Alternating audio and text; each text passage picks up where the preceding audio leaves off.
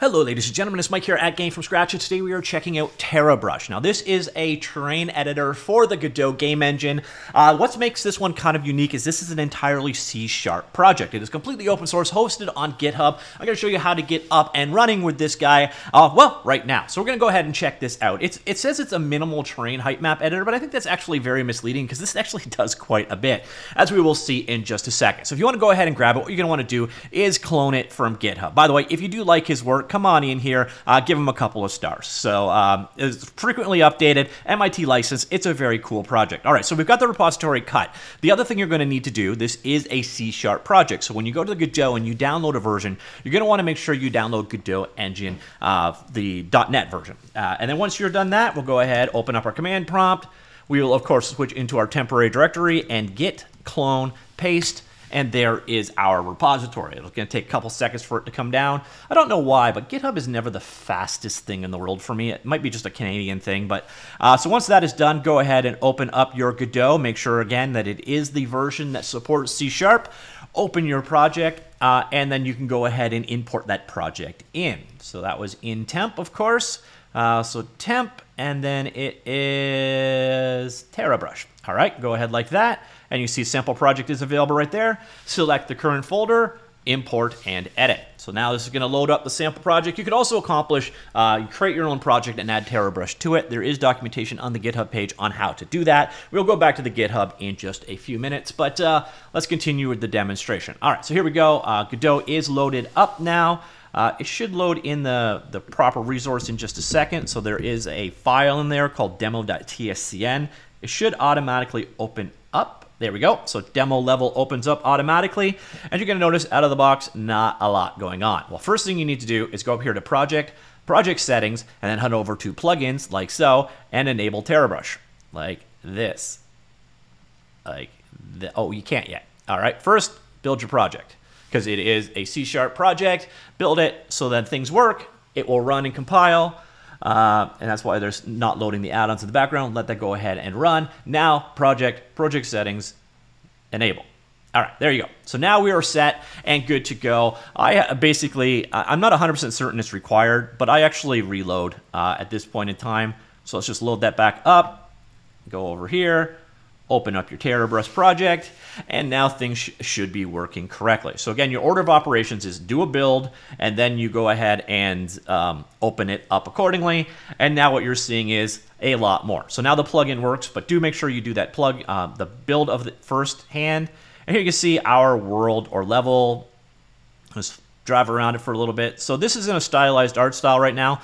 Uh, this isn't a requirement because basically uh, you can set the TerraBrush object up to do um, whatever you want. So you can see over here, uh, if I select TerraBrush, you're going to see a number of different settings for it over here. So you can set up uh, how textures, what the various different textures are. Normally these are uh, arrays of values that you can then specify your own uh, textures in. Then you see the textures show up down here.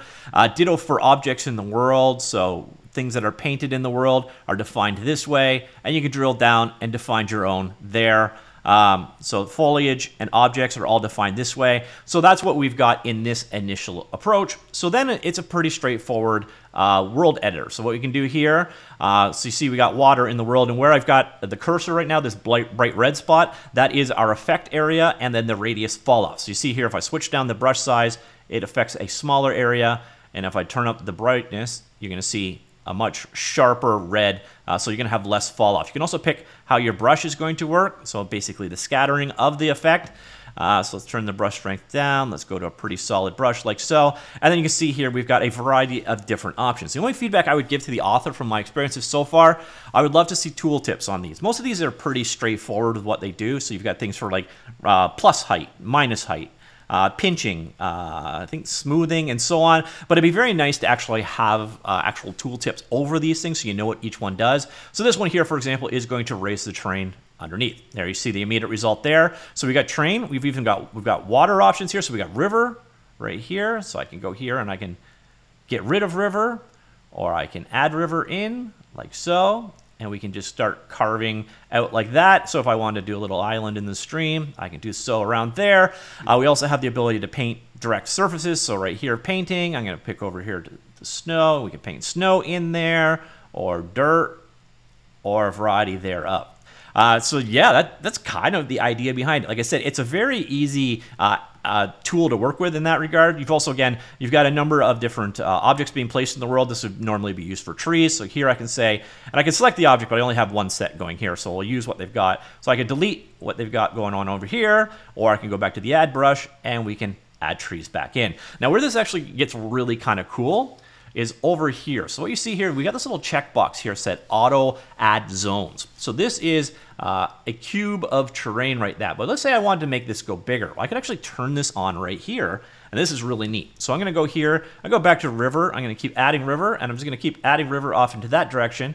And you'll notice as we went out, it basically just updated the world for me. And that is really cool. So then if I come in here, I want to you know, raise things up. I can do so.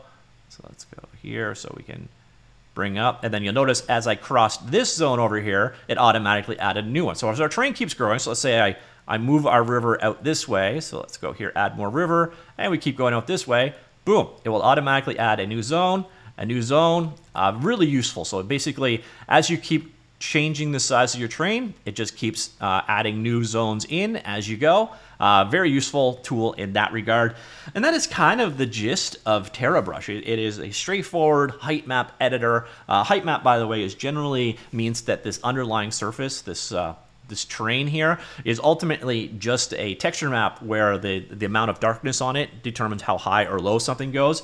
Uh, it's a very straightforward and fast way of adding terrain into the world. What you're going to find with it, uh, the only real downside to it is you can't have overlapping terrain because it's just a fixed height value. Uh, so if you want to have caves or something like that, you're generally out of luck with a height map solution. Other than that, uh, that's kind of the gist of it. Again, we could go ahead, we can add snow like that. Uh, we can take away snow like that. Uh, and then everything else you pretty much saw here. So there's a straightforward texture painting, and then we got snow painting itself. Uh, we got the ability to add uh, shrubs, shrubbery, foliage into our world like so. And again, you define all these things by setting them up into these arrays here. So if you do not want this cartoony look, very easy to um, just get rid of it. Just basically uh, swap out the array, use something else that you want in its place. And that's that's TerraBrush, a C-sharp based extension for creating height map terrains in Godot, but it does so much more than that. As you saw, it does uh, rivers and auto sizing and um, foliage placement and uh, so much more. So it, it is not really as simple as they are selling it as, which is uh, pretty cool. So again, you will need Godot uh, 4. 4.1 or 4.2 or later, and you'll need to make sure you use .NET. Uh, so if you want to learn more about it, it is MIT licensed. I will have this link in the linked article down below. Again, if you like it, uh, give them a star, even if you're not going to check it out. I think people on GitHub just appreciate the stars. It gives more exposure on the GitHub algorithms, I believe.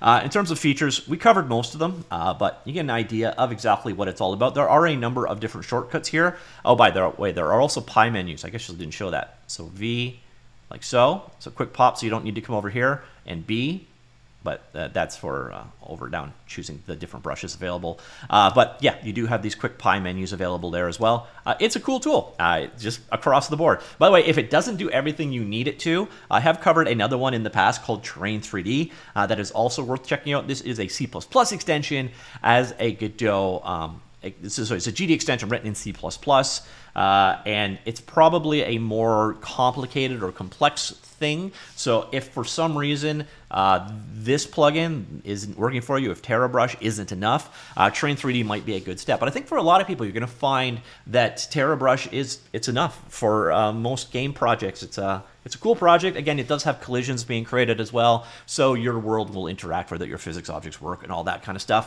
So yeah, that's it. TerraBrush for the Godot game engine. Let me know what you think. Comments down below. I'll talk to you all later. Goodbye.